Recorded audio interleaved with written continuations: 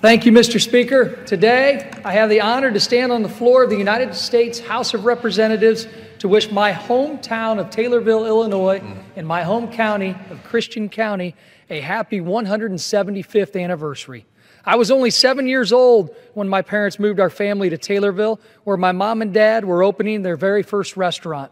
And while my family has called Taylorville home for 37 years, I can say what made Taylorville and Christian County a great place to live when we first moved there still makes it a great place to live now. My parents wouldn't have been able to achieve the American dream without the support of friends and neighbors in Taylorville and Christian County. And without a doubt, I would not be standing here today if it weren't for the help and friendship of so many people throughout my years in Taylorville and Christian County.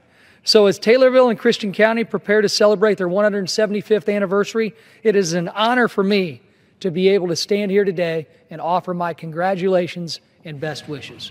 I yield back the balance of my time. Gentleman yields back. For what purposes the gentleman from Rhode Island seek